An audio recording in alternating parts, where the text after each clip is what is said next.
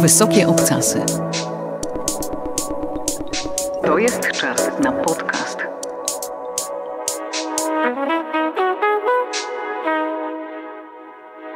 Zapraszamy na herstoryczną opowieść Wysokich Obcasów. Dzień dobry, ja się nazywam Katarzyna Wężyk. A ja nazywam się Natalia Waloch. I witamy w naszym podcaście Herstory Wysokich Obcasów, w którym, jak sama nazwa wskazuje, opowiadamy o kobietach. O kobietach niezwykłych, które nie wahały się łamać reguł albo tych zastanych naginać tak, żeby było to dla nich dobre. Jest już tak sławna, że o jej raku piszą gazety. Choć jej sława jest bezprecedensowa, bo nigdy wcześniej nie zdarzyło się, żeby taką popularność zdobył intelektualista, a tym bardziej intelektualistka, pisząca poważne eseje. Właśnie wygrała walkę z chorobą i poczuła się na tyle dobrze, że mogła polecieć na Hawaje, by odwiedzić matkę i ojczyma. Matka marzy o tym, by córka wreszcie zaczęła się dobrze ubierać i malować, by znaleźć dobrego męża. Żeby znaleźć dobrego męża, trzeba dobrze wyglądać, więc matka wysyła ją do fryzjera Paula Brauna. Chemioterapia co prawda nie pozbawiła naszej bohaterki pięknych, gęstych, czarnych włosów, ale sprawiła, że stały się zupełnie siwe.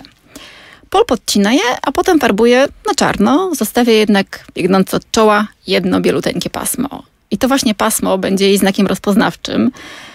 I jej fryzura, jak ona sama, stanie się ikoniczna. Wysokie obcasy. Naszą dzisiejszą bohaterką jest Susan Sontag, amerykańska myślicielka, autorka wybitnych esejów i mniej wybitnych powieści. Enfant terrible nowojorskich salonów i role model przynajmniej dwóch pokoleń wyzwolonych kobiet. Susan Lee, nie, nie Sontag, Rosenblatt, przychodzi na świat 16 stycznia 1933 roku na Manhattanie. Jej rodzice Mildred i Jack są zasymilowanymi żydowskimi migrantami o polskich korzeniach. Rodzina jest zamożna głównie dzięki przedsiębiorczości samego Jacka, który zaczynał na imigranckim slumsie na Dolnym Manhattanie i zrobił wszystko, żeby się z niego wyrwać. Ma raptem 16 lat, gdy firma, w której pracuje, wysyła go do Chin, gdzie na wielbłądzie przemierza pustynię Gobi, skupuje futro od mongolskich nomadów. No ma takie przygodowe życie. On chyba był bardzo głodny tego życia, bo on od początku wiedział, że coś z jego płucami jest jednak nie tak. Więc ten czas, który myślał, że ma go mało, chciał wykorzystać. No i idzie mu tak dobrze, że szybko otwiera własną firmę. I ślub jakby nie kończy tego nomadycznego trybu życia, no bo oboje z Mildred często podróżują właśnie do Chin i zwiedzają też Europę. A Mildred, delikatnie mówiąc, no nie ma nadmiaru instynktu macierzyńskiego delikatnie. wobec Susan, tak. Jest typem kobiety, która nigdy nie pokazuje się światu bez makijażu i starannie ułożonych włosów. Jest rzeczywiście piękna jak gwiazda filmowa. Susan mówiła, że przypomina Joan Crawford. Rola matki ją bardzo nuży i ma jeszcze jedną cechę. W wyniku własnych traum z dzieciństwa uważa, że rzeczywistość jest okrutna, więc robi wszystko, żeby od niej uciec. Zatem unika szczerości i trudnych tematów, uważa, że o pewnych rzeczach się po prostu nie mówi i uważa tak do tego stopnia, że kiedy w trakcie wydawanego w domu przyjęcia zaczyna czuć bóle porodowe, dyskretnie wychodzi, prosi służącą o, pomoc w rozpięciu eleganckiej sukni i rodzi córkę wśród dochodzących z za ściany śmiechów gości. No i zaraz potem oszołomiona kilkuletnia Susan dowiaduje się, że oto właśnie ma siostrę, bo nikt wcześniej jej nie powiedział, że w domu pojawi się dziecko. No to twardzielka, skoro jakby nie krzyczała podczas tego porodu. Może goście byli głośno. Może goście byli głośno. Dwójka dzieci nie sprawia, że Mildred i Jack rezygnują z podróży, no a córki na wiele tygodni zostawiają w Nowym Jorku z nianią. W 1938 roku Jack umiera w Chinach, właśnie na gruźlicę. No i Mildred zabiera ciało męża oraz cały dobytek, meble, figurki, tkaniny i pociągiem przez Azję oraz Europę rusza do Ameryki. To jest, przypominam, 38 rok, tak? No, warunki są średnie, cała Europa szykuje się do wojny, a tu wdowa z trumną męża przez pół świata wraca do domu. Karen Blixen jadąca do Afryki z jej duńską i brytyjską porcelaną to pikuś. Też mi się tak wydaje, tak. No a jak wraca, to córką, czyli Susan i Judith, o śmierci ojca mówi dopiero wiele miesięcy później, no bo to przecież taki nieprzyjemny temat, po co się w to wdawać. No i okłamuje je też, wioząc tą trumnę przez pół świata, że ojciec został pochowany w Chinach. No i dorosła Susan wiele lat na próżno będzie szukać w tychże Chinach grobu Jacka, a on rzeczywiście był tuż obok, bo na nowojorskim Queensie. Ech, matki. Po śmierci męża Mildred światu pokazuje jak zawsze umalowaną i uśmiechniętą twarz wesołej wdówki, ale w domu zamyka się na całe godziny w sypialni i po prostu pije. Susan staje się jej opiekunką i powierniczką. Matka, oderwana od rzeczywistości i marząca o hollywoodzkiej miłości, posuwa się czasami nawet do tego, że każe córce odgrywać sceny, w których Susan jest zakochanym w niej amantem. No creepy to takie. No, creepy. No a Susan, no w sumie trudno jej się dziwić, czuje się coraz bardziej wyobcowana i potem wiele razy będzie mówiła, że o swojej matce tak, nie umiała być matką. Ja nigdy nie byłam dzieckiem. To jest kurde strasznie smutne, nie? Bardzo. Z kolei jej biograf twierdzi, że to, że nie była dzieckiem w dzieciństwie odbijała sobie później na starość, ale o tym powiemy. No i ten skomplikowany związek z matką naznaczy Susan na zawsze i stanie się przyczyną jej cierpienia jak każde dorosłe dziecko alkoholika, no Susan nie będzie umiała dokopać się do swoich emocji, a tematem jej życia i jej prac przebijającym w jej esejach, no będzie niemożność zaradzenia tej męczącej dychotomii między ciałem i umysłem. Znaczy ona umysł miała ogarnięty, była super inteligentna, chłonęła wiedzę jak gąbka, chodziła na pięć wystaw dziennie i trzy filmy, pisała, czytała, no ale z ciałem sobie nie radziła, znaczy jakby nawet je wręcz ignorowała. I tak, to, tak i o tym jeszcze będzie. Tak, tak, ale to mnie uderzyło, że ona miała problem z higieną. Tak. Ona się po prostu nie myła i muszę przyznać, że nic mnie tak nie zszokowało. Nie tam liczba kochanków, nie to jak Ona nie brała prysznica, nie myła zębów i w dziennikach rzeczywiście się ciągle dopingowała do tego, żeby brać ten prysznic przynajmniej co drugi dzień i myć zęby i potem odnosiła porażki i znowu się nie myła i tak. Czasem mam wrażenie, że nie zawsze dobrze wiedzieć o swoich idolach. Za dużo możesz zmienić o nich zdanie, ale z drugiej strony potem nic co ludzkie nie powinno być nam obce, więc tak, Susan Sontag miała problem z higieną. A to dzisiaj jest modne i podobno zdrowe, nie? Teraz mamy takie afery wannowe w Hollywood, tam się przyznają wszyscy, że się nie kąpią specjalnie i lekarze mówią, że to jest bardzo dobre. Mm, Okej. Okay. Ale wracając do Stanów Zjednoczonych kilka dekad temu, jest coś takiego, co jednak uwagę Mildred przyciąga i to jest astma jej starszej córki. Więc pani Sontag zaczyna się przeprowadzać z córkami z miejsca na miejsce, szukając jednocześnie jakby lepszego klimatu dla Susan oraz osobistego szczęścia. No i tak w wieku 10 lat Susan z siostrą Judith i z matką ląduje w Tucson w Arizonie, czyli dodajmy na kompletnej pustyni, bardzo specyficzne miejsce w Stanach Zjednoczonych. W tutejszej szkole uchodzi za dziwaczkę, jest nadwiek oczytana, nadwiek dojrzała to oczytanie to jest efekt największego prezentu i nie wiem czy nie jedynego, jaki zrobiła jej Mildred, bo Mildred nauczyła Susan czytać, kiedy ta miała zaledwie 3 lata. No i teraz dziewczynka korzysta z tego pełnymi garściami. Tak jak matka w alkohol, tak ona przed rzeczywistością ucieka w książki. No i coraz bardziej odkrywa siebie. Jako ośmiolatka czyta biografię Marii Skłodowskiej-Curie, która, dodajmy, była wtedy jedynym, jedynym wzorem dla ambitnych dziewczynek. I dodajmy, że tę biografię napisała córka Marii Skłodowskiej-Curie, czyli żaden facet się tym też tematem nie zainteresował. Herstorie są ważne. W każdym razie Susan, podobnie jak nasza rodaczka, postanawia zostać chemiczką, no i pewnego dnia zdobyć Nobla. Wierzyłam w to, że mogę osiągnąć co tylko chcę. Pisze w dzienniku, co jest chyba po pierwsze super, a po drugie ciekawe, czy wiele ośmiolatek w latach 40. takie rzeczy pisało. Ale ona nigdy nie była taka jak wszyscy. Nie była. No i szybko odkrywa też swoją naturę. Jako kilkunastolatka notuje w dzienniku, czuję, że mam skłonności lesbijskie. A dodajmy, że w tym czasie homoseksualiści i jeszcze długo później są w Ameryce realnie prześladowani. Tracą pracę i wlatują na margines społeczeństwa. I nawet no, New York Times, tak, krynica postępowości, pisze o nich wtedy jako o zboczeńcach i zwyrodnialcach. A Mildred w końcu znalazła męża. Jej! Brawo. Został nim pilot wojenny Nathan Somtak. Jego nazwisko jest dużym atutem. Wprawdzie też jest żydowskie, ale jednak brzmi dużo lepiej niż Rosenblatt. A Susan w tym czasie, dodajmy, zdarza się w szkole słyszeć, że jest brudną Żydówą. No i chociaż Nat nie adoptował Susan i Judith, to one obie przyjęły jego nazwisko. No i tak oto pojawia się. Ta piękna literacja. Sontagowie przenoszą się do Los Angeles, co dla Susan okazuje się początkiem nowego życia. No bo w tutejszej szkole, która już nie jest prowincjonalną szkółką, panuje zupełnie inny klimat. Susan nie jest już dziwaczką z innej planety. Jej wiedza inteligencja imponują kolegom i koleżankom. Staje się na swój sposób popularna. co zresztą zapisała w dzienniku, co mnie trochę zdziwiło, jako jeden ze swoich życiowych celów. I trzeba przyznać, realizowała go spektakularnie.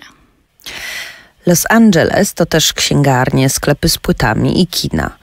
I to właśnie w jednej z księgarni dochodzi do zdarzenia, które podzieli jej życie na pół, jak potem sama będzie o tym wielokrotnie mówiła, bo oto w jednej z książek znajduje zdjęcia dokumentujące Holokaust. Ma 12 lat. Nic, co widziałam później, ani na zdjęciach, ani w życiu, nie dotknęło mnie tak brutalnie, głęboko, błyskawicznie, napisała potem.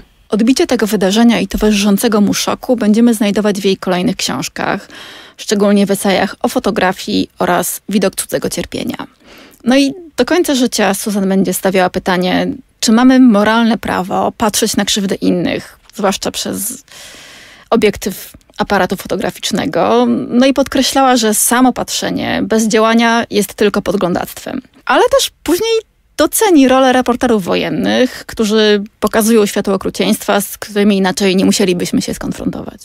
Su, jeśli będziesz tyle czytać, nie znajdziesz męża, mówi do niej ojczym. Ten idiota nie wie, że na świecie są też inteligentni mężczyźni. Odwija się mu w dzienniku. No, ale jednocześnie coraz wyraźniej czuje, że niekoniecznie mężczyźni ją pociągają. Chce zostać pisarką i tak o tym pisze. Żądza pisania łączy się u mnie z homoseksualizmem. Potrzebna jest mi jakaś tożsamość, której mogę używać jako broni, równie skutecznej jak ta, którą wymierzyło we mnie społeczeństwo. Potrzeba ta nie uzasadnia mojego homoseksualizmu, ale mając tożsamość, zyskałabym, jak sądzę, jakąś legitymację to jest dosyć wysoka samoświadomość jak na nastolatkę. Nie? Tak, to jest niesamowite, jak się czyta jej dzienniki. One są takie dojrzałe, zresztą te jej wczesne prace, ona tam potrafi w liceum mówić, że jak wszyscy wiedzą Freud coś tam, albo że tam to jest banalne. No nie, nie wszyscy wiedzą i nie w tym wieku, a co do banalności, no wiem, młodość ma to do siebie, że lubi takie odważne sądy stawiać, ale ona naprawdę była no, niesamowicie oczytana jak na tak młodą osobę. No i ma te 16 lat i chce za wszelką cenę wreszcie uciec od matki. No i ucieka, ale nie specjalnie daleko, bo wybiera Uniwersytet w Berkeley, a to jest niedaleko San Francisco, czyli wciąż w Kalifornii. Porzuca też wtedy siostrę, o której nigdy nie mówi, no i wieloletni przyjaciele będą później zszokowani, gdy w końcu dowiedzą się o istnieniu Judith. To chyba trochę miało coś wspólnego z tym, że Judith jakby zawiodła jej nadzieję. Znaczy ona była szczęśliwą gospodynią domową, czyli totalnym przeciwieństwem Susan, czego ona chyba trochę jej nie mogła wybaczyć. Ale wracając do studiów, no pierwszy rok tylko na początku był dla niej takim pełnym zanurzeniem się w nauce, no bo wkrótce poznała seks. Jednocześnie zadłuża się bez wzajemności w koleżance, a z drugiej uprawia seks z mężczyznami, żeby udowodnić przede wszystkim sobie, że jest przynajmniej biseksualna. No niestety wytężona praca nad tym problemem nie przynosi spodziewanego skutku. Notuję w dzienniku to. Nie czuję nic poza upokorzeniem i upodleniem na myśl o fizycznych relacjach z mężczyzną. Ale zachowa się też lista jej kochanków i kochanek z pierwszego roku studiów, na której jest 36 nazwisk. To też przyznam mnie zdziwiło, ale nie dlatego, że o jej tam 17-letnia Susan była taka puszczalska, no bo nic nam do tego, kto z kim sypia, tak, a jak komuś to przeszkadza, to może powinien przy, przyjrzeć się własnemu życiu seksualnemu, ale to był rok, rok 1950, więc ja się po prostu no, nie spodziewałam, że wtedy dziewczyny takie rzeczy robiły. Znaczy, no to było odważne po no. prostu bo tak zwana reputacja była dosyć kruchą sprawą, prawda? Trzeba było, po pierwsze, to była ta idea, że szanująca się młoda dama jest dziewicą do ślubu. Po drugie, pamiętajmy, że to był czas bez pigułki antykoncepcyjnej Otóż. jeszcze. Dziewczyna mogła mieć nadzieję, że chłopak założy prezerwatywę, no ale to zależało głównie tak od niego.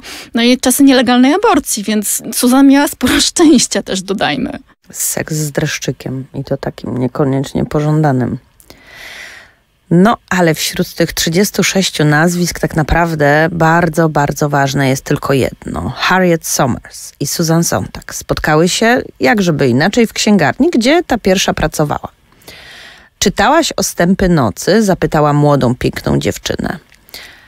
Ostępy nocy, dodajmy, Judy Barnes, to książka opublikowana w 1936 roku i to była wówczas jedna z nielicznych powieści otwarcie mówiących o homoseksualizmie. No i za radą Harriet Susan przeczytała ją, ale edukacja ze strony starszej o kilka lat koleżanki poszła dużo dalej. No bo zostały kochankami, z tym, że to Susan tym razem zależało bardziej. Może dlatego, przynajmniej tak twierdzi biograf Susan, że Harriet była co najwyżej biseksualna, ona nie była lesbijką. I swoją drogą o Harriet opowiedział nam podczas wywiadu chyba najlepszą historię. To znaczy Harriet po dziewięćdziesiątce była taką starszą panią, która bardzo lubiła opowiadać o swoim bogatym życiu seksualnym. No a jemu opowiedziała to w restauracji, krzycząc, ponieważ była głucha. Więc puenta tej historii jest, jednej z historii, którą powiedziała, jest taka, że w latach 50. jadą Susan do Niemiec. Tam Harriet okazuje, że ma rzeżączkę, no i idzie do lekarza, tyle że ten lekarz ma na swoim biurku zdjęcie w mundurze Wehrmachtu. Na co Harriet i ona krzyczy w tej restauracji pełnej ludzi. To ja mu wtedy powiedziałam, że żaden pieprzony nazista nie będzie leczył mojej rzeżączki. No i Mozart stwierdził, że to był najbardziej wstydliwy moment jego życia. W każdym razie ta Harriet o Susan powiedziała, pewnie wykrzyczała tak. Pod względem seksualnym to była katastrofa. Była piękna, ale nie była seksualna. Mimo to no, na wiele lat Harriet pozostała dla Sontag kimś w rodzaju nauczycielki, przewodniczki i to ona wprowadzi ją wciąż bardzo młodziutką, bardzo niepewną, piszącą o sobie jako słabeuszce, do podziemnego San Francisco, gdzie Sontag odkryje świat gejowskich barów i kin, co później wydatnie przyczyni się do zdobycia sławy. Ale zanim to nastąpi, Susan zrobi bodaj najbardziej dziwną rzecz w swoim życiu, przynajmniej w moim odczuciu. Po pierwszym roku studiów przenosi się na Uniwersytet Chicagowski, będący wówczas kuźnią późniejszych, rzeczywiście najwybitniejszych umysłów Ameryki. Tu poznaje 28-letniego Filipa Riffa, profesora, no, który tak bardzo chce awansować do elity i pozbyć się swojego niskiego pochodzenia, że po kampusie paraduje z laseczką i w meloniku. Także proszę sobie to wyobrazić, lata 50. jednak. I po tygodniu znajomości Susan zaręcza się z Filipem, a wkrótce wychodzi za niego za mąż i bardzo, bardzo stara się wejść w rolę pani profesorowej. No nie, to było zaskoczenie, straszne. No ta małolata, która 36 osób przeleciała na pierwszym roku, na drugim roku wychodzi za profesora i chce być panią profesorową. No dokładnie. Młodość jest jednak pełna sprzeczności. To prawda. No i tym razem jej szczęście, bo ona niespecjalnie chciała być matką, się kończy, zachodzi w ciążę i wpada w panikę. Robi aborcję, całkowicie wtedy nielegalną i no, w koszmarnych warunkach. To znaczy na czymś stole w kuchni, a z zabiegu zapamięta to, że żeby zagłuszyć jej krzyk, bo było to oczywiście bez znieczulenia, lekarz zrobił głośniej radio. I to była tutaj no, rzeczywistość wtedy aborcyjna, kobiet, które nie miały pieniędzy. A swoją drogą Susan poprosiła matkę o pieniądze, a Mildred jej odmówiła. No. Tą ciążę przerwała, tyle że wkrótce odkryła, że znów jest w ciąży, no ale to tym razem to Filip interweniował, no bał się, że kolejna aborcja mogłaby mu żonę zabić, więc się jej sprzeciwił, no i musiała urodzić. No i historia tej donoszonej ciąży pokazuje, jak bardzo Sontag rzeczywiście żyła korzystając jedynie z umysłu i jednocześnie odcinając się od ciała, bo ona, która w liceum była bardziej oczytana niż profesorowie, a przez katorżnicze studia szła z lekkością ważki, nie miała bladego pojęcia, jak wygląda poród. Po prostu w całym tym czasie nie znalazła momentu na to, żeby się dowiedzieć, jak wygląda poród. Ona, która chciała wiedzieć wszystko. I to kiedy... nie interesowało, nie? Niesamowite, tak. Jakby ta ciąża była, jakby abstrahowała w ogóle od tej ciąży. No i efekt był taki, że kiedy poród się o pierwszej w nocy zaczął odejściem wód płodowych, to ona pomyślała, że po prostu się przez sens sikała w łóżku, a skurcze porodowe wzięła za to, że po prostu brzuch ją boli. Po porodzie była zdziwiona, że nikt jej nie powiedział, że tak boli i nikt jej na pomoc nie szedł. Czy też szkarłatny płataki biały? To jest z kolei XIX wieku, no i tam żona wiktoriańska w ogóle nie ogarnia związku między zapłodnieniem, ciążą a porodem i to... Znaczy, rozumiem, to wiktoriańska żona, tak, ale żeby taka interpretacja... Są tak? No, no to jest niesamowite. W każdym razie jest syn, ich syn, David Rosenblatt Reeve, urodził się we wrześniu 52 roku, a imię dostał na cześć rzeźby Michała Anioła. I był to nie tylko hołd dla doskonałości piękna, ale też pierwszy zwiastun, biedny chłopak, przyszłych oczekiwań, jakie matka narzuci synowi i jakie też narzucała samej sobie. No jej syn miał być dziedzicem intelektualnej dynastii i tak go trasowała właściwie. No na tym pierwszym zdjęciu z synem polecam Państwu zobaczyć to zdjęcie. Między innymi ono jest w tej wydanej właśnie biografii Sontag pióra Benjamina Musera. Dziewiętnastoletnia Susan wygląda po prostu jak licealistka, no nie wiem, z bratem, czy z kuzynem na rękach. Jest oszołomiona, bardzo skromnie ubrana i naprawdę sprawia wrażenie upozowanej do zdjęcia dziewczynki, która do końca nie wie, co się właściwie dzieje. Przez ten pierwszy rok zostaje w domu z synem i nianią, ale szybko zaczyna znowu pracować i tutaj mamy do czynienia z kolejnym szokującym faktem z życia. Oto bowiem ambitna młoda naukowczyni, ta super inteligentna dziewczyna, która mówiła, że osiągnie wszystko, no co robi? Ona zamyka się w sypialni podczas proszonych kolacji, na których jej mąż bryluje w towarzystwie i pisze za niego książkę. Znaczy, umowa była taka, że miał mu pomagać przy zbieraniu materiałów, pisać recenzje książek, które Filipowi są potrzebne do napisania jego monumentalnego dzieła życia. Dzieła o Freudzie The Mind of a Moralist. Kiedy jednak staje się jasne, że Riff nie jest w stanie poskładać swoich własnych notatek w miarę sensowną całość, Susan całkowicie to przejmuje. No i przez dekady fakt, że Sontag napisała za Riffa jego książkę, uznaną zresztą za wybitną, było tajemnicą Poliszynela w Nowym Jorku, ale też to było raczej plotką. A natomiast teraz to zyskało na wadze, ponieważ Benjamin Moser, właśnie biograf, którego wspominałyśmy, on tu składając fakty dowodzi, porównując styl i pewne myśli, które są w tej książce, że rzeczywiście nie mogło być inaczej, że tę książkę bez wątpienia napisała Sontag. No i jednym z takich dowodów jest to, że sam Philip Reeve już nigdy potem niczego znaczącego nie napisał. Jego wielka kariera skończyła się tak szybko jak małżeństwo z Susan. A co do małżeństwa, to Susan podsumowuje je tak. Ten, kto je wymyślił, był genialnym dręczycielem. No, szybko orientuje się, że poślubienie Filipa było koszmarną pomyłką. Nie za bardzo też odnajduje się w roli matki. Widzi siebie bardziej jako właśnie taką przewodniczkę syna. Chce, żeby był jej przedłużeniem.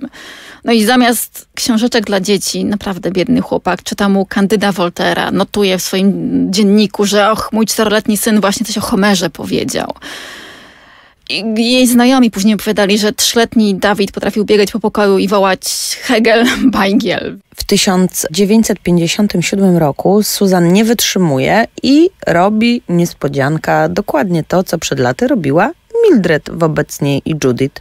Zostawia Davida pod opieką męża i niani i wyjeżdża na stypendium do Oksfordu a potem jedzie dalej do Paryża, który jest wtedy absolutną kulturalną stolicą Europy. No i Traf chce, że jest tu też Harriet Somers, więc romans szybko zostaje reaktywowany. No i tutaj już widzimy, że jest to rzeczywiście taka sadomasochistyczna wręcz więź z kochanką, która zazdrości Susan jej umysłowości, tego geniuszu, który widać.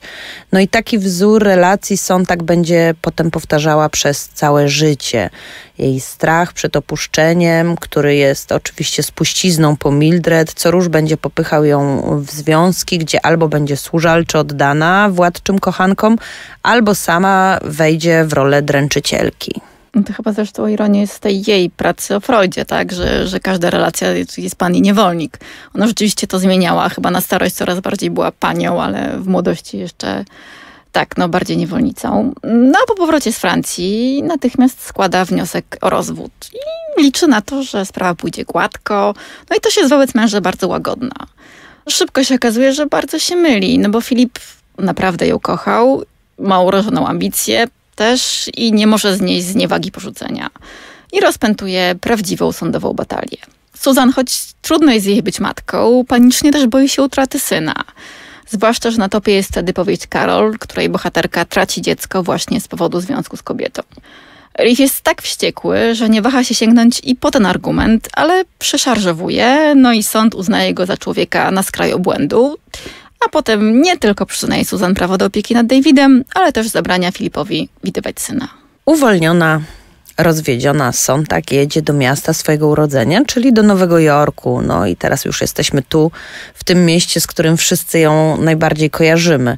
Jest bezrobotną, samotną matką, ale pieniądze nigdy nie były dla niej bardzo ważne, czy je miała, czy nie. Rzuca się w wir. No nie, była jednak przez większość życia nie była No jak się ma bogatych przyjaciół, to tak można.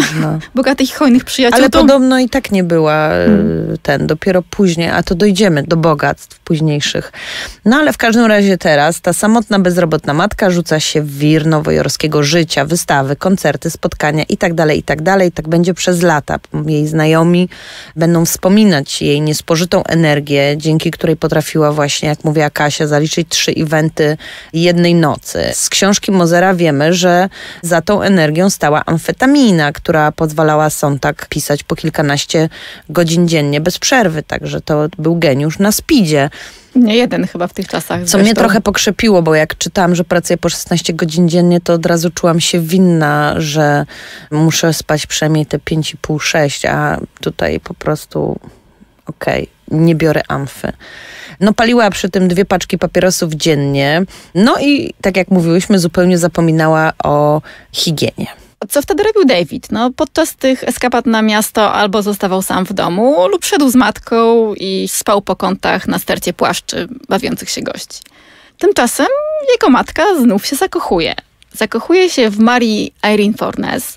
Jest to urodzona na Kubie autorka eksperymentalnych przedstawień, kobieta pełna seksapilu i energii, latynoska petarda.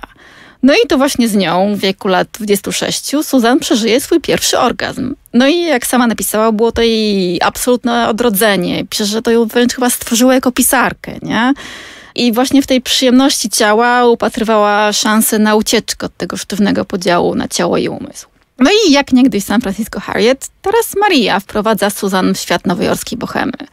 Sontag poznaje Rogera Straussa, potomka Guggenheimów, tak, tych Guggenheimów od, od Muzeum Sztuki Nowoczesnej.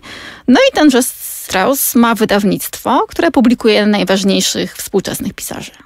No i rzeczywiście on się szybko staje się mecenasem Suzan, też trochę zastępczym ojcem, ale co nie przeszkadza im od czasu do czasu skoczyć do łóżka. No to znowu Freud się kłania.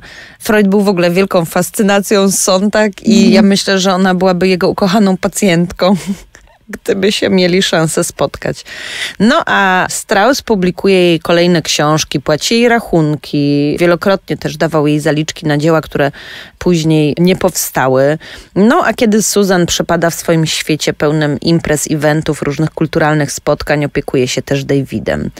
I też jemu Susan zawdzięczać będzie na przykład dobrą recenzję swojej pierwszej powieści The Benefactor, którą zachwalała sama Hannah Arendt na prośbę właśnie mecenasa. Dodajmy, że Hannah Arendt była bardzo podziwiana przez Sontag. Ona uważała ją za wzór intelektualistki.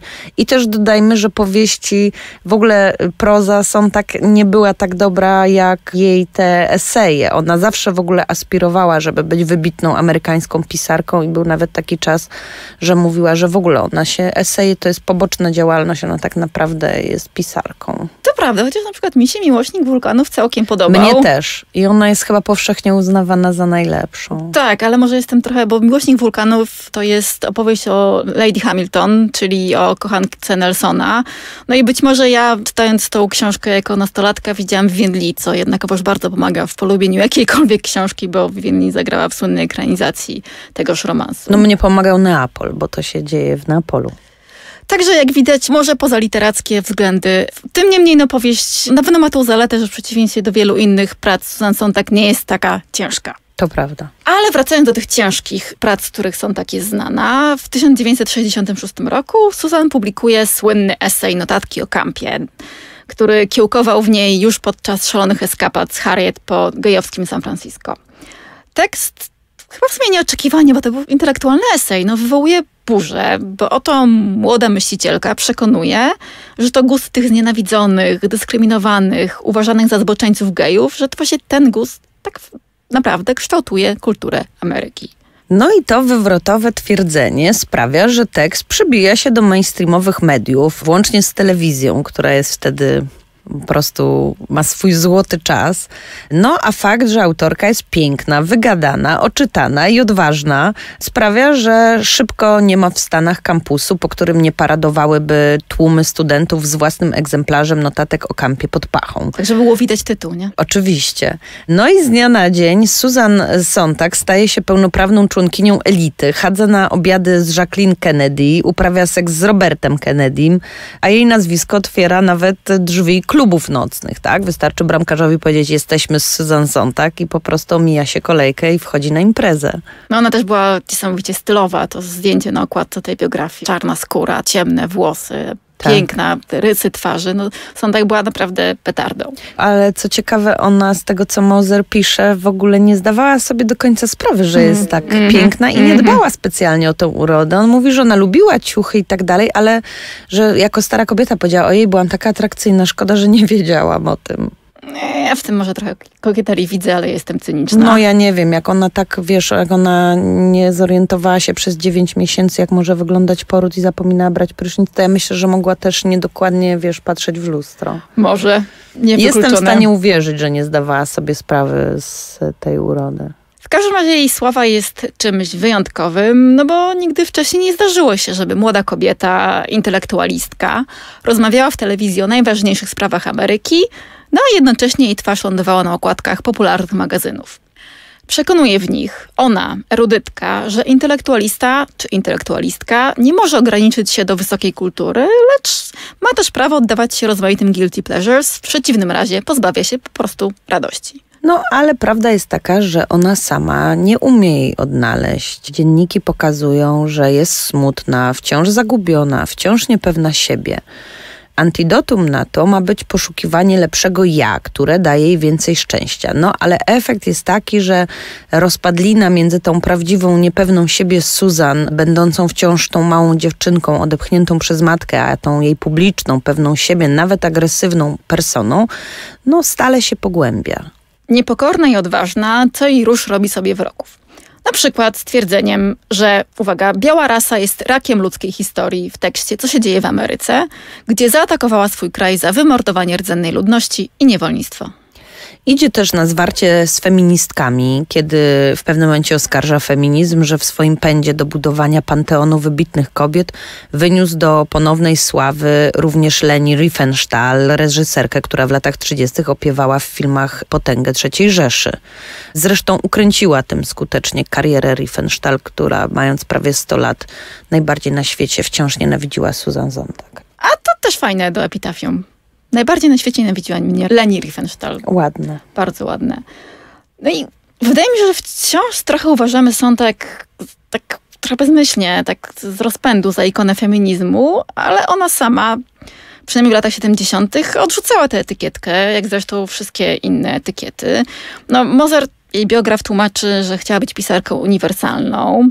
A w tamtym czasie wypowiadanie się w imieniu jednej grupy społecznej, znaczy grupy społecznej, która nie była białymi i heteroseksualnymi mężczyznami, dodajmy, bo oni mieli Tak. perspektywę uniwersalną, ale takich grup jak kobiety, czarni czy geje oznaczało zepchnięcie na środowiskowy margines, a ona chciała przemawiać do wszystkich.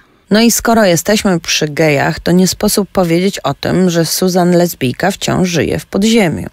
Miewa romanse z mężczyznami i trudno oprzeć się wrażeniu, że jest to tylko po to, by zmylić otoczenie.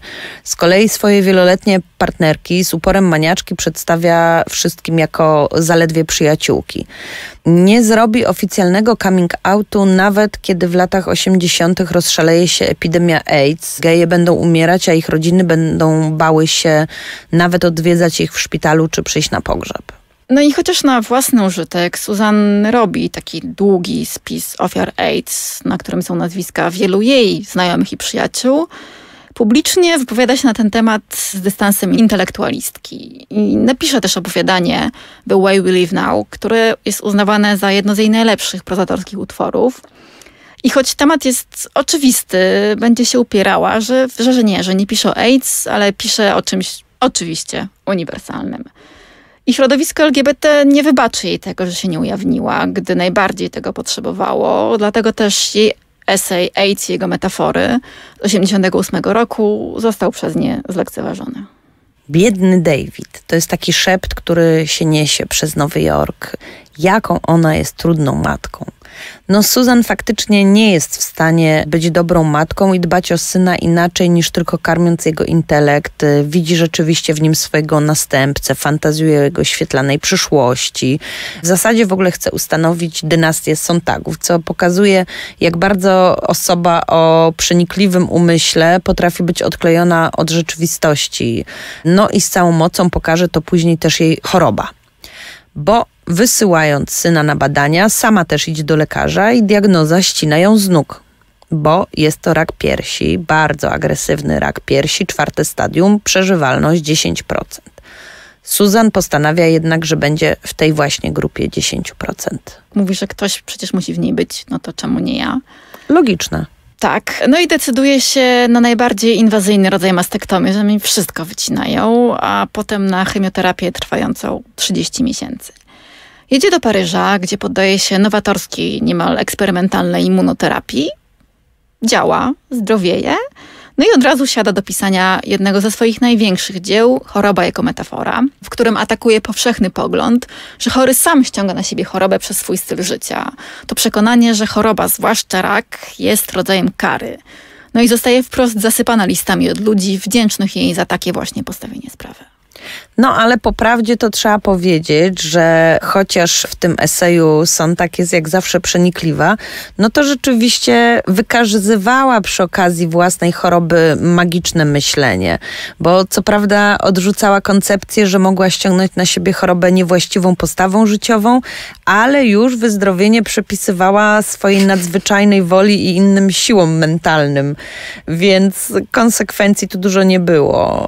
Zresztą ona zabrnęła później, bo nawet był moment, kiedy uważała, że już nawet papierosy nie mają wpływu na chorobę, ani zła dieta, bo to w ogóle nie ma znaczenia. Tak, wystarczy pozytywne myślenie. Otóż, także... A to kolejne myślenie magiczne, nie? Mhm.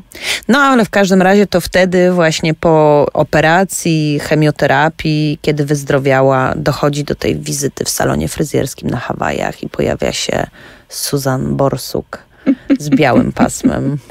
Wkrótce po mastektomii poznaje Josifa Brockiego, wydalonego z ZSRR, wybitnego poetę. No i Susan uważa go za geniusza. Wreszcie ktoś, z kim może porozmawiać równy jej, co się tak często nie zdarzało.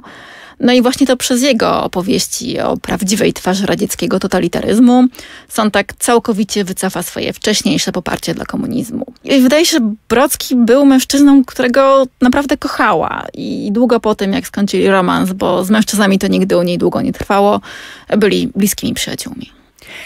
A na liście jej kochanków i kochanek przez całe lata zgromadziło się całe grono osób wybitnych, niekiedy też dziwacznych, ekscentrycznych postaci. Chodziła do łóżka z artystami takimi jak Jasper Jones, czy Paul Tech. Żyła swego czasu całkiem długo z aktorką Nicole Stefan i stała się niemal niewolnicą neapolitańskiej księżnej Carlotte del Pezzo to ta, co była taka powierzchowna, że ta powierzchowność była wręcz sztuką. Tak, dla niej było tak, istnienie, bycie było sztuką. Dużo łatwiej o bycie, które jest sztuką, jeśli masz napolitańską fortunę, niż nam zwykłym śmiertelniczkom. A ostatnią jej wieloletnią partnerką była słynna fotografka Ani Leibowitz. No i czy była jej miłością? Tu zdania są podzielone, bo ich związek był bardzo gwałtowny, taki przemocowy, taki sadomasochistyczny, taki, one się po prostu szarpały cały czas. No i to tym razem Susan było tą stroną dominującą, władczą i okrutną. To jakieś było wychylenie chyba wahadła po Karlocie, która z kolei czołgała Susan przed sobą. Poznają się, bo Eni ma zrobić Suzan nowy portret na okładkę książki. Lejbowic też jest córką alkoholiczki, podobnie jak Sontak jest trudna, zwłaszcza w pracy. Do legendy przechodzą różne awantury, które robiła podczas sesji, rzucanie przedmiotami w asystentów i tak dalej. Ale w domu, o dziwo, Eni wchodzi w rolę podporządkowanej uczennicy. Jest słabo formalnie wykształcona i zdaje się 16 lat, aż młodsza od Suzan, więc daje się jej prowadzić za rękę niczym mentorce. Albo za uszy. No bo Susan jest nauczycielką bezwzględną, bezpardonowo krytykuje partnerkę przy ludziach, w ogóle się nie hamuje. Powtarza jej publicznie, że jest głupia i każe jej się zamknąć, gdy ta tylko w towarzystwie otworzy usta.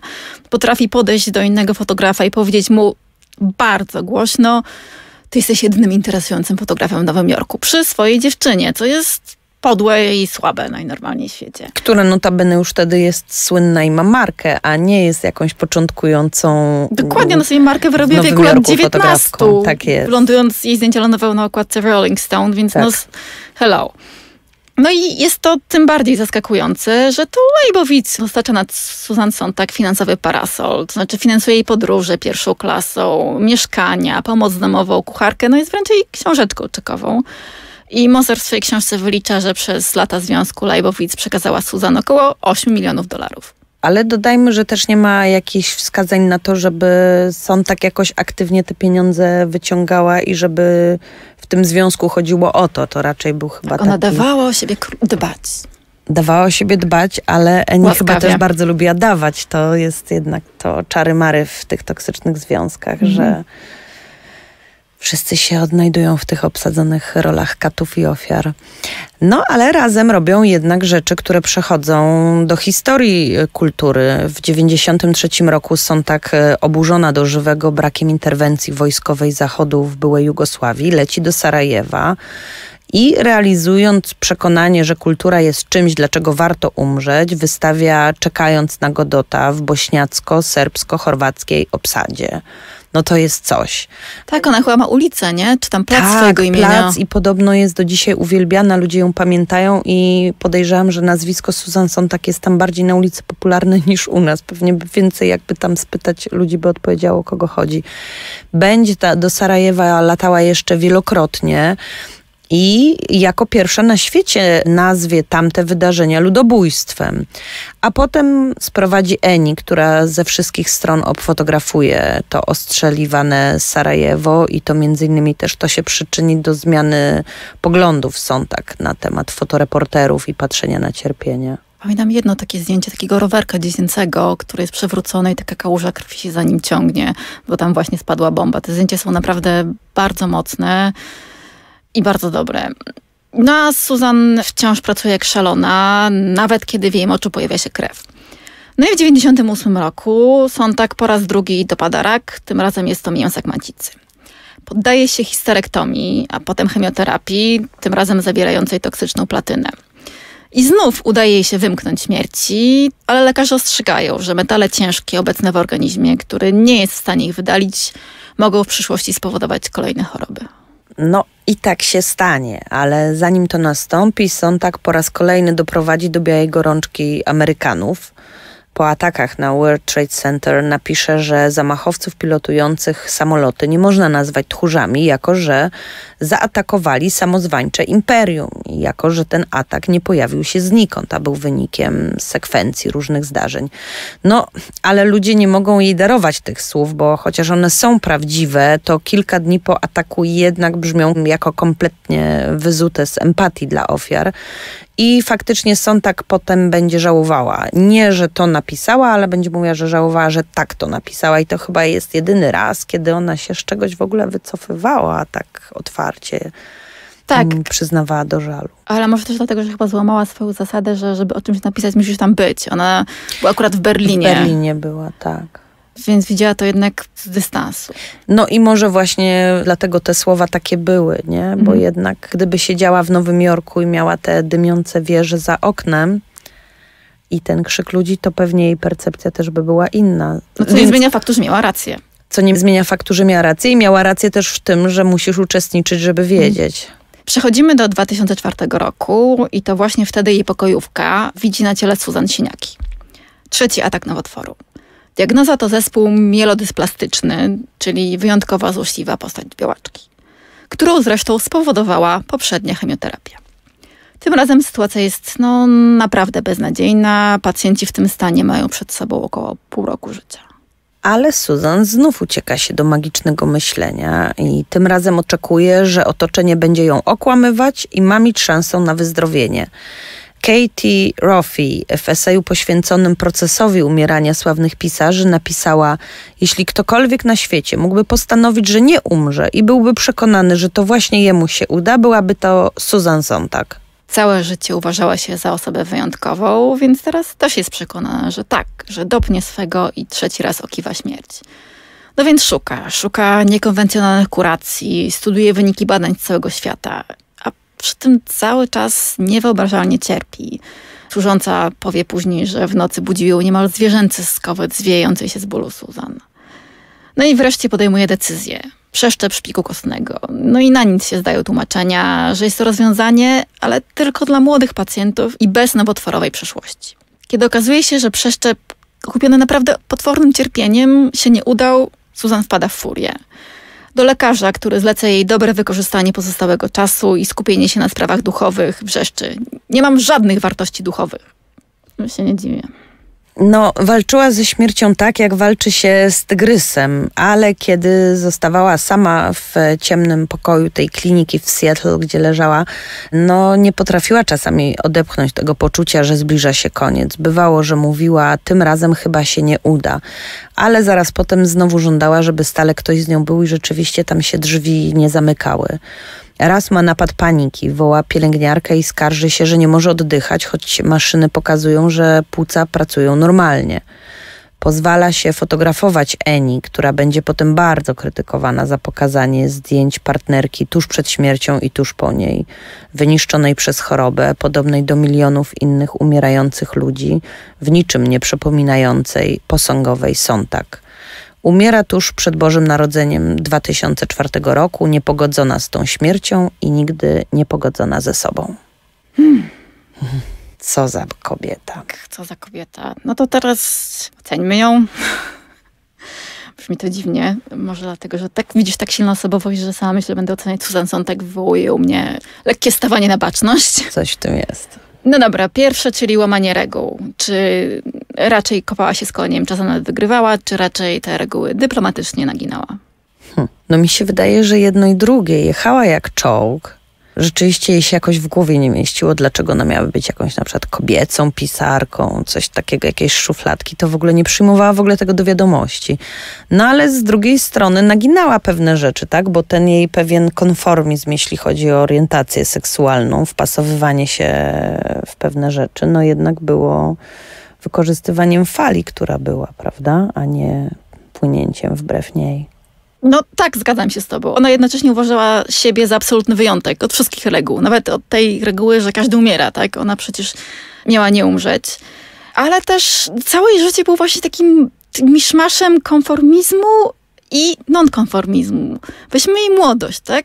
Z jednej strony masz to bujne życie seksualne, wtedy nie do pomyślenia, z drugiej strony ślub w wieku 17 lat i niczym dobra żona z lat 50. pisanie mężowi pracy naukowej pod jego nazwiskiem. To jej nazwisko się tam nigdy nie pojawiło, tak? No tak, ale też pamiętajmy, co nam mówił Benjamin Moser, że jak rozmawiał z e, kobietami naukowczyniami z pokolenia Zontak, to one mówiły, a co wy się tak dziwicie, że ona napisała tę książkę? Myśmy wszystkie pisały książki za mężu. No że to właśnie, było jest, to masz ten konformizm, nie? No. A z drugiej strony, no, zostawiła syna, tak? Przez chwilę go zostawiła mężowi, potem go zostawiła cały czas. To jest też łamanie tych reguł, a z drugiej strony bardzo chciała być uznawana za dobrą matkę. To jest takie, ona się wydaje mi się, to jest też chyba kwestia tego jej pokolenia. Ona się w latach 30 urodziła, to jeszcze pokolenie przed baby boomem. No, żyła w takich, a nie no, innych lata czasach. 50 to są gospodynie to domowe. To są dokładnie gospodynie domowe, więc ona robiła co mogła, na co jej czasy pozwalały. Trochę. Dokładnie, ja nawet nie wiem, czy można nazwać konformizmem. Ja ona uciekła w to małżeństwo ze strachu przed swoim homoseksualizmem, ale no naprawdę się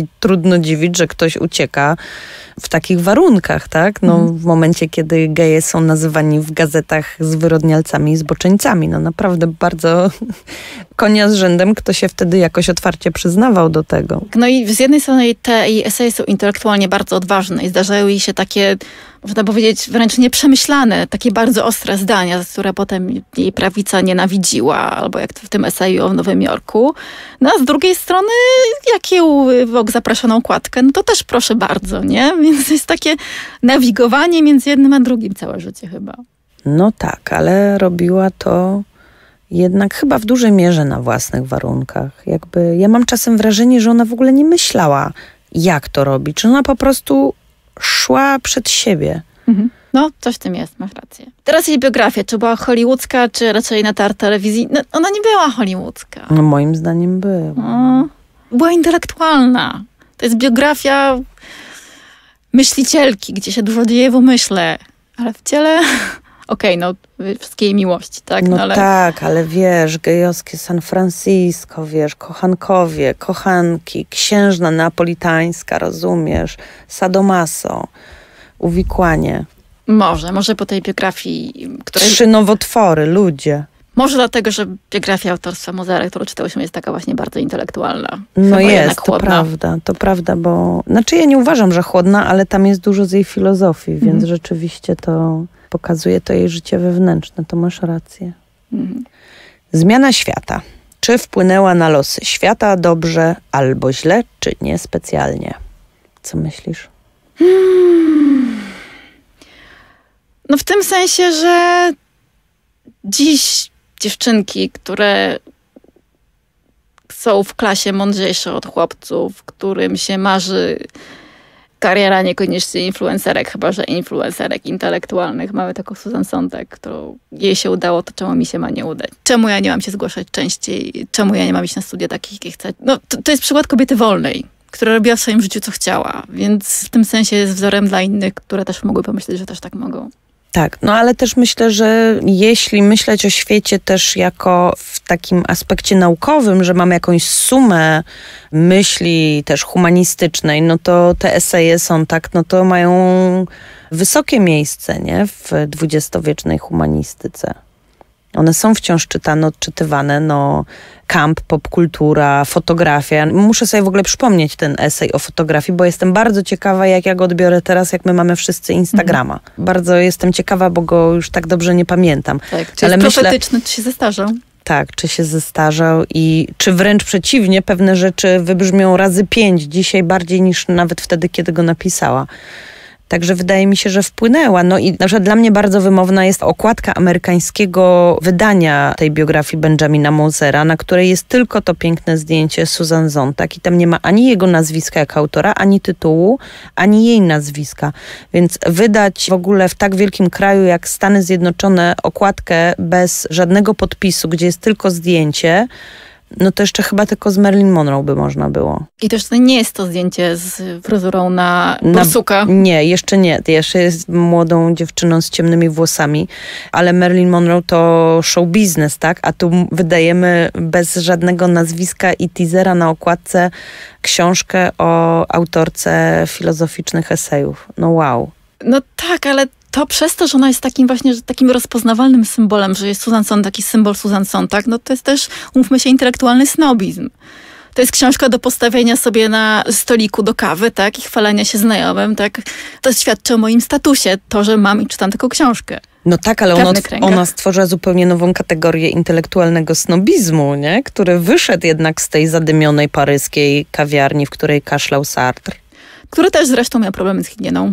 I którego zresztą są tak zjechała gdzieś w którejś ze swoich prac i tam się umiała go przyczepić, chociaż go bardzo podziwiała. No i wreszcie feminizm. To mnie, pamiętam, zdziwiło, bo zakładamy automatycznie, że kobieta tak wyzwolona będzie od razu feministką, ale nie. I to zwłaszcza ciekawie widać. Zależy, co rozumiem przez feminizm. Na pewno w latach 70. ona by się w tej kategorii nie mieściła, bo wtedy feminizm forsował, słusznie zresztą, to prywatne jest publiczne. A dla niej prywatne było prywatne. I tylko prywatne. Ona nie potrafiła pisać własnego doświadczenia. To bardzo dusiła. Ona właśnie pisała bardzo zawsze intelektualnie i przez to jej portrety innych ludzi przebijała jakoś tam ona, ale ona sobie nigdy nie pisała, więc ten taki główny postulat właśnie ruchu feministycznego, zresztą też gejowskiego, jakby zupełnie go, totalnie go ignorowała.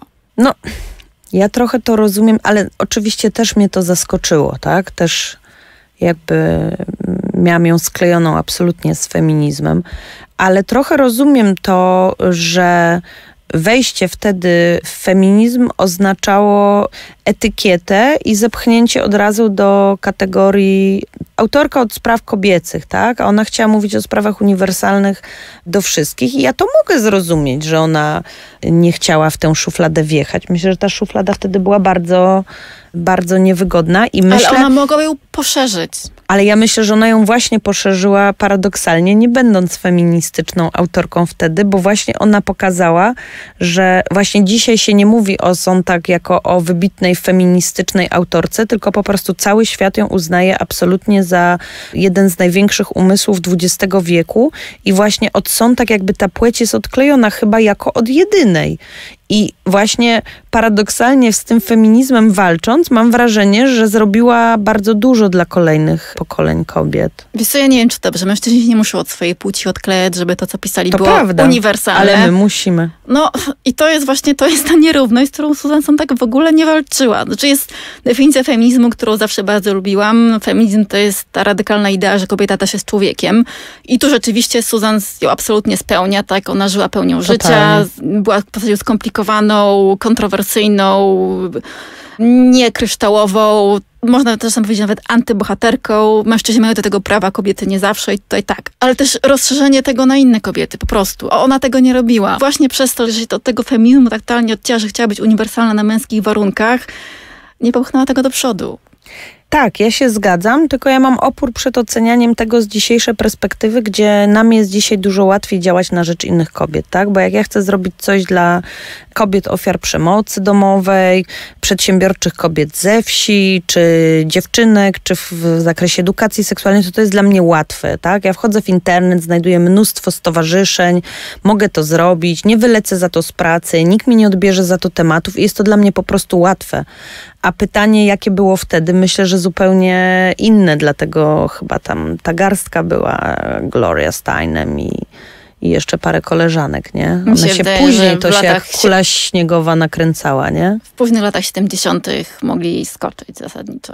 Krzywdy wielkiej by jej nie zrobiło, ani jej sławie, gdyby wypowiedziała się bardziej feministycznie. No pewnie tak, ale z drugiej strony jak dajemy kobietom wybór, to ja też jej daję prawo do interesowania się czymś innym niż feminizm i mogę skumać, że bardziej interesowała ją kultura, popkultura i choroba jako metafora i inne rzeczy niż e, sprawy tylko kobiet. No prawo wolnego umysłu też z drugiej strony, nie? Prawda. Przedostatnia kategoria, czyli Beach Factor, czy była wredna, czy podkładała świnie, czy nie była solidarna. No, była. Ona była suką, ona była diwą. Była, tak, tak. Diwa to jest ładne, eufemistyczne tak określenie, bardzo mi się ono podoba. Tak jak z tym dziwacznym, ekscentrycznym. Na pewnym etapie sławy i pieniędzy już nie jesteś suką, jesteś diwą. O, to ładne. Ale ja ją bardzo usprawiedliwiam, szczerze mówiąc, dlatego że no, ona miała absolutnie silny syndrom dorosłego dziecka alkoholika. I ona była wyzuta kompletnie z empatii, ale ona też była wyzuta z empatii wobec samej siebie tak naprawdę, bo ona była strasznie okrutna też wobec siebie. Jak ktoś jest okrutny wobec siebie, to nie jest czuły wobec świata. Tak, ona chyba siebie nie lubiła za bardzo, nie? Nie lubiła siebie za bardzo, no nie no katowała się, nazywała się słabe łóżko, no biczuje się w tych dziennikach absolutnie, znaczy z jednej strony uważa się za nadzwyczajną, inteligentną, ale to poczucie niskiej wartości wciąż nie jest i ta Mildred była straszną matką, śmierć ojca w młodym wieku, no ona zresztą w dzienniku opisała coś takiego jak syndrom X i to było wypisz, wymaluj w ogóle syndrom dorosłych dzieci alkoholików, który został zdefiniowany przez psychologię w ogóle chyba 20 czy 30 lat później. Więc ona też jakby nie miała żadnych narzędzi do poradzenia sobie, tak jak my dzisiaj mamy, że gabinet psychoterapeutyczny na każdym kroku i w gazecie u dentysty wszędzie są rubryki psychologiczne i człowiekowi ma szansę coś tam. No tak, no po prostu była skomplikowaną osobą, nie była kryształowa i bardzo dobrze, no nie wiem, czy tak bardzo dobrze dla Ani Leibowitz, ale albo jej syna Davida. No, ale Moser mówi, że Eni Leibowitz powiedziała mu, że ona ją Mhm. nie dotykały te A co miała ataki mu tak powiedzieć? Susan. Ale może tak było, bo sama była, wiesz, też to dwie dorosłe córki alkoholiczek, twórcze, wybitne.